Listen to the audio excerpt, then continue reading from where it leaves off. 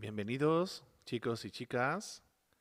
Este es nuestro tercer vídeo correspondiente a la tercera semana de confinamiento de el curso de Historia en Español, la clase de segunda. Hoy vamos a tratar, vamos a comenzar un nuevo tema, el tema 8, que se titula La Guerra de Sucesión en España. Este tema estará dividido en dos sesiones, la de esta semana y la semana que viene. Avant de commencer vous raconter la guerre de succession, je vous fais le point d'accroche avec le cours d'histoire que vient de voir durant cette semaine concernant l'Angleterre et l'évolution de son nouveau système politique, la monarchie parlementaire, et de quelle façon l'Angleterre, après la glorieuse révolution et le Bill of Rights, commencera le XVIIIe siècle? Comme la puissance maritime en Europe et surtout aussi pourra, à travers les traités d'Utrecht, imposer des conditions aux deux grandes puissances qui ont dominé l'Europe entre le XVIe et le XVIIe siècle, c'est-à-dire l'Espagne et la France.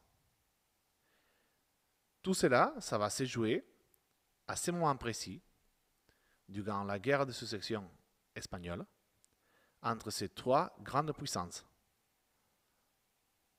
France, l'Angleterre, l'Espagne.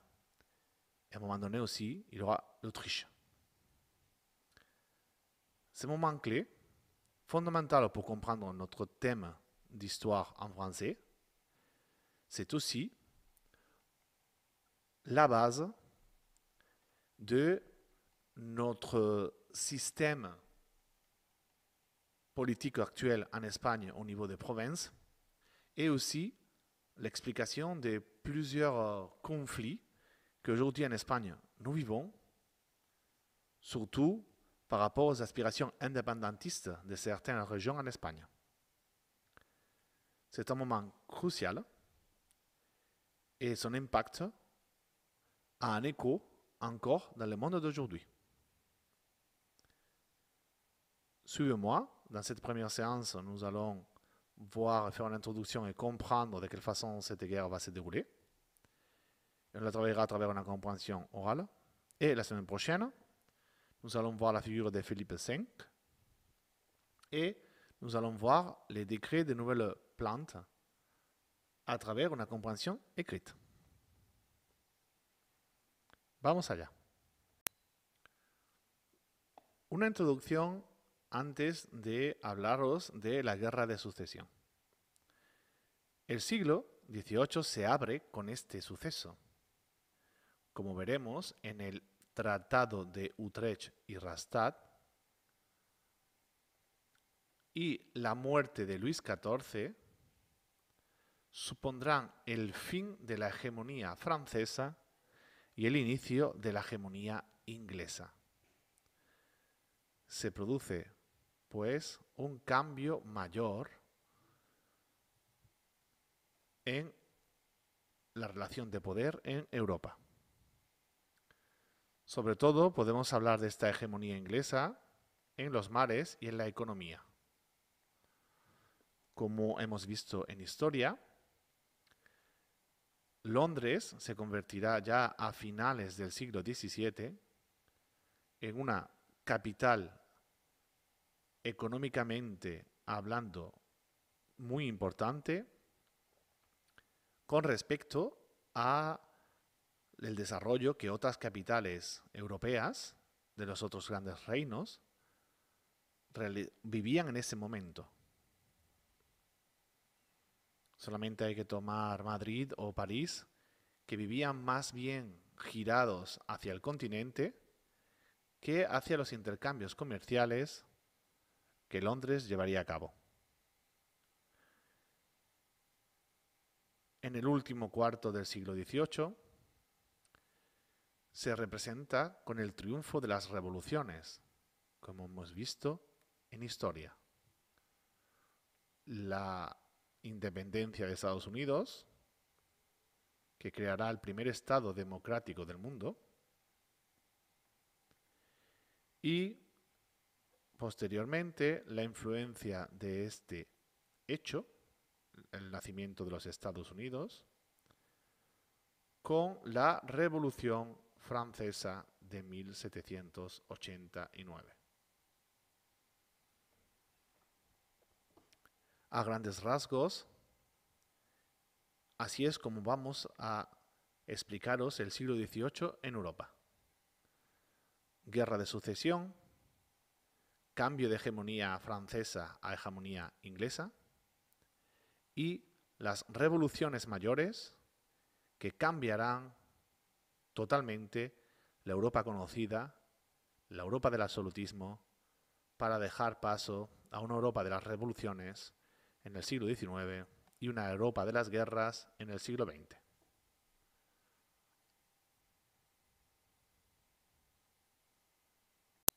¿Cómo comienza esta guerra de sucesión que se desarrollará entre 1700 y 1714? Es decir, prácticamente 15 años de guerra. España inicia el siglo XVIII con la muerte de Carlos II. Carlos II era el último Austria, heredero de Carlos V, que lo vimos con el palacio de Carlos V en la Alhambra, y Felipe II, el emperador español. Los Austrias o los Habsburgo, en España gobernaron el siglo XVI y eran la hegemonía, tenían la hegemonía y el poder del siglo XVI. El siglo XVII sabéis que Francia, y sobre todo Luis XIV y su absolutismo, conseguirán desplazar a los Austrias y el último de ellos, denominado los Austrias menores, será Carlos II que morirá solo y sin descendencia. Además, para que lo veáis, pues Carlos II, digamos que fue un personaje muy particular, ya que debido a que los reyes españoles se casaban entre ellos para guardar la pureza de sangre, nació este último rey llamado el hechizado, l'ensorcelé, porque era un rey incapaz que no tenía la capacidad ni de mando era una persona que tenía deficiencias mentales.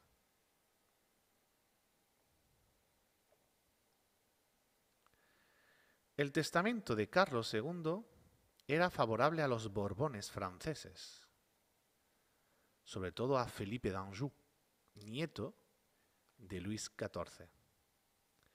Esto rompió el equilibrio europeo.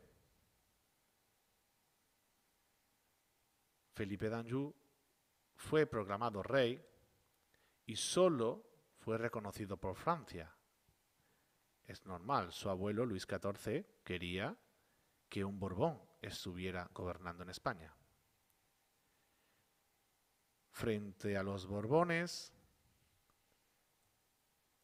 los defensores de la candidatura del archiduque Carlos de Austria se unió Inglaterra y otras potencias.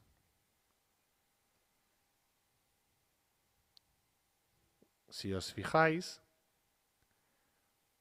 En este mapa, aquí vemos los bandos.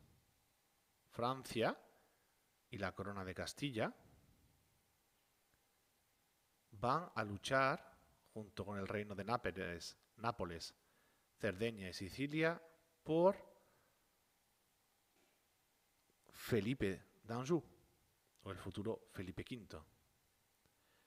Sin embargo, los países que lucharán contra los franceses serán Gran Bretaña, Austria, Hungría, Rusia y el Reino de Saboya. Je m'arrête deux secondes pour vous montrer une caractéristique que ça doit déjà vous faire tilter. Et, comme je vous ai dit dans l'introduction, sera une des explications la plus importante peut-être pour comprendre euh, les difficultés qu'aujourd'hui existent en Espagne d'une façon territoriale. Vous savez depuis le début, on l'a vu ensemble, que l'Espagne, avec les rois catholiques, était formée par deux grands royaumes, la Corona d'Aragon et la Corona de Castilla. Mais vous voyez ici, comme l'Espagne, quand cette guerre va éclater, elle n'est pas unie. Déjà, toute la couronne d'Aragon va être pour les Autrichiens, les Habsbourg, pour l'héritier que sera défendu par la Grande-Bretagne. Et le devenir de cette guerre marquera par la suite la relation entre ces territoires de la couronne d'Aragon avec le reste de l'Espagne.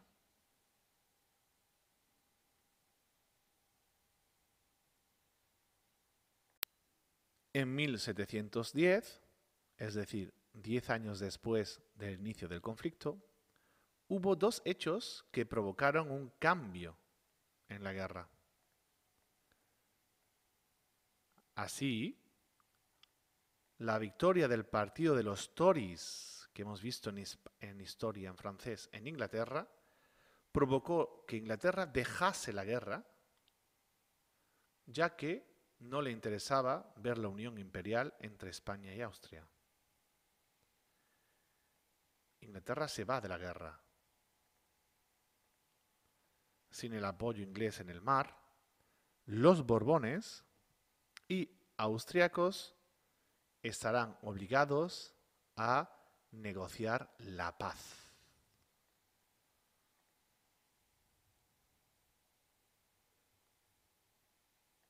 En abril de 1713, Inglaterra firma el Tratado de Utrecht con Francia y España.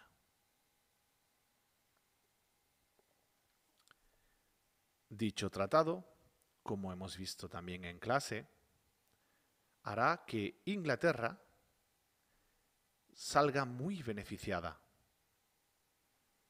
Conseguirá Gibraltar, que todavía hoy en día es un problema entre los españoles y los ingleses, ya que es un territorio inglés dentro del territorio físico español. La isla de Menorca y sobre todo conseguirá que Francia pague muy caro el hecho de que un Borbón se siente en el trono de España. Este tratado significó el fin del imperio español en Europa. Inglaterra obtuvo Gibraltar, Menorca, y beneficios comerciales, como hemos visto en clase de historia con América, como la trata de esclavos y los asientos. La supremacía inglesa en los mares será fundamental para el desarrollo de la economía inglesa y que sean los ingleses los que podrán desarrollar la primera revolución industrial. Tras estos tratados, la dinastía borbónica se asentó por fin en España. N'oubliez pas que, même aujourd'hui, c'est un Bourbon et c'est le roi espagnol. D'ailleurs, il a repris les noms les prénoms de ses premiers Bourbons. Notre roi, c'est Philippe VI. No podemos olvidar que esta guerra de sucesión también fue una guerra civil, porque enfrentó a la corona de Castilla contra la corona de Aragón, como hemos visto en el mapa. Enfrentó a felipistas, los partidarios de Felipe, futuro Felipe V, y los austracistas, los partidarios de los austriacos o de Carlos III. Castilla, ante todo, fue francesa y Aragón austriaca. Es por ello por lo que Felipe tuvo que luchar sin cuartel en Aragón desde 1705, fecha del inicio de la rebelión. Felipe V de Aragón se salvó gracias a las victorias de Almansa y de Villaviciosa de Tajuña. Tras años de ofensivas y contraofensivas, Felipe recuperó Cataluña solo al final de la guerra y Mallorca en 1715. Estos hechos bélicos influirán en la posterior política interna de Felipe V. Fue prácticamente la primera guerra civil que vivirá España y su influencia no solamente se desarrolló durante el siglo XVIII, sino hoy en día todavía existen estas reminiscencias que veremos posteriormente. Para afianzar todo lo que hemos visto, ahora vamos a realizar una comprensión oral.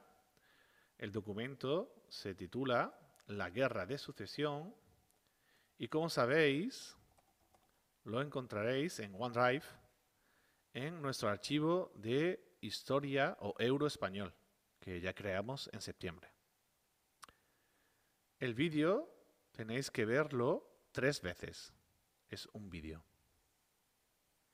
Antes de hacerlo, aquí tenéis las preguntas. Podéis pausar el vídeo y escribir las respuestas para luego corregirlas conmigo. Primera pregunta.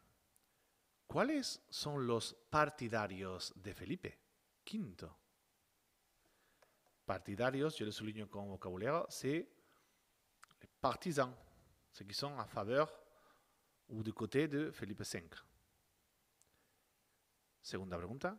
¿Cuáles son las potencias al lado del archiduque Carlos? Potencias, c'est les puissances.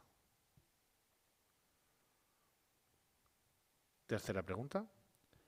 ¿Por qué la guerra de sucesión es también una guerra civil?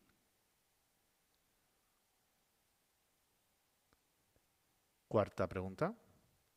¿Cuál, fue el motivo por el que la corona de Aragón apoyó al archiduque Carlos?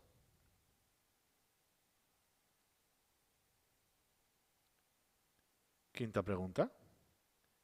¿Qué permitió la batalla de Almansa?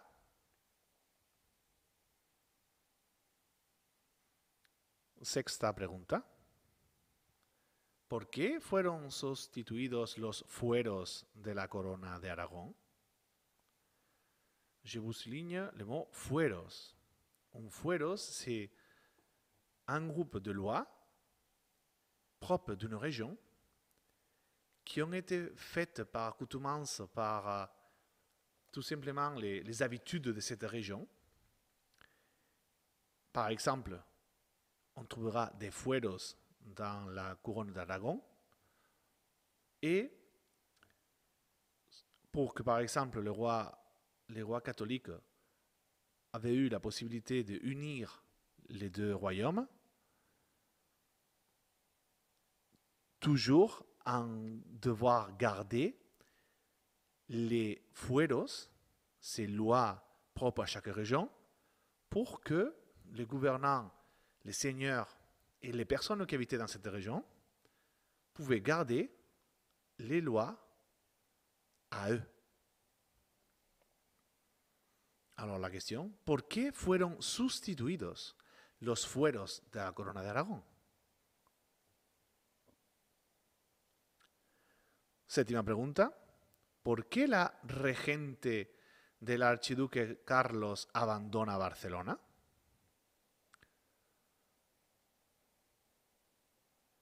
Octava pregunta, ¿qué significa el Tratado de Utrecht? Novena pregunta.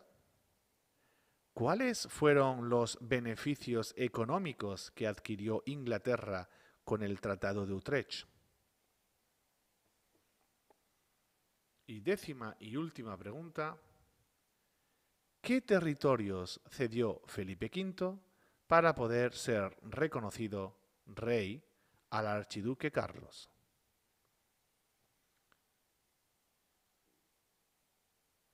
Je vous laisse le moment pour réécouter cet audio et on passe ensuite aux corrections. Comenzamos con las respuestas. Normalmente sabéis que activo el punto positivo y negativo y también la posibilidad de rebote. A ver cuántas respuestas habéis conseguido.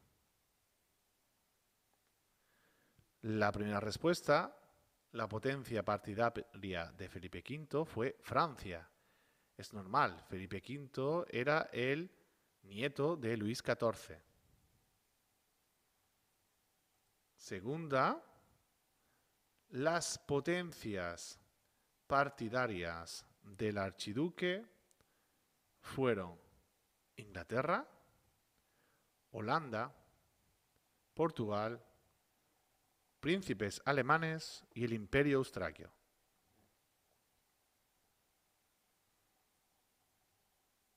Tercera pregunta. Los reinos de la antigua corona de Aragón se declararon partidarios del archiduque, mientras que el resto de Castilla se declaró partidaria de Felipe.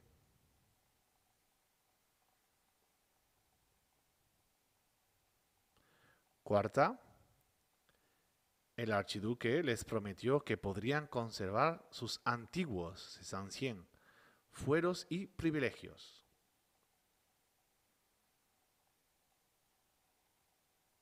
Quinta, la victoria abre el camino hacia Valencia y Aragón, las dos regiones que apoyaban desde un principio al archiduque Carlos. Sexta, los fueros fueron sustituidos por las leyes de Castilla. Vous voyez, dans cette réponse, on a déjà euh, les points clés du conflit entre ces deux régions. Les régions de la couronne d'Aragon voulaient garder ses lois, ses droits et ses privilèges. Par exemple, il ne payait pas d'impôts à la couronne. Tandis que quand Philippe V de Bourbon arrivera au pouvoir, il fera payer en quelque sorte cette région le fait de ne la pas avoir appuyé en lui disant je vous enlève vos privilèges, je vous enlève los fueros et vous aurez les mêmes lois qu'à Castilla.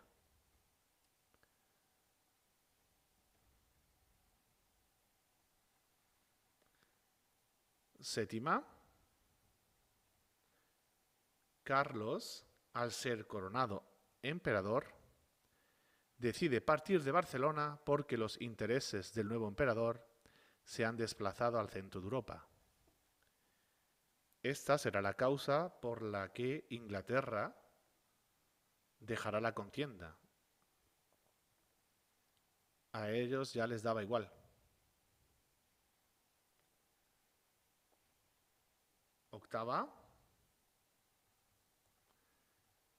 Se constata el inicio de la preponderancia de Inglaterra y el ocaso de Francia.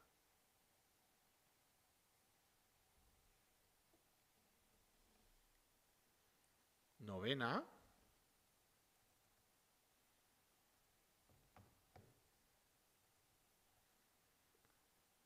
¿Qué es lo que recibe Inglaterra? Gibraltar, Menorca, el comercio de esclavos africanos y la posibilidad de comerciar con la América española.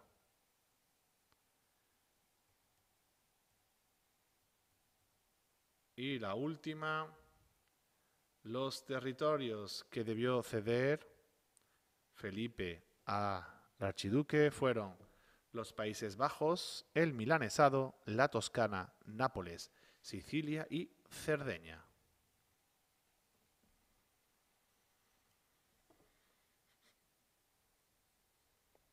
Muy bien chicos, pues esta ha sido nuestra primera sesión de este tema, la Guerra de Sucesión Española. Influencia directa con nuestra clase de historia en francés, no solamente porque un rey francés llegará a la corona española, sino también por la influencia que esta guerra tendrá en el desarrollo de Inglaterra y su posterior exportación de sus ideas con las revoluciones americana y francesa. Muchas gracias por haberme escuchado. Espero que hayáis tenido muchas respuestas correctas y nos vemos la semana que viene. Adiós chicos.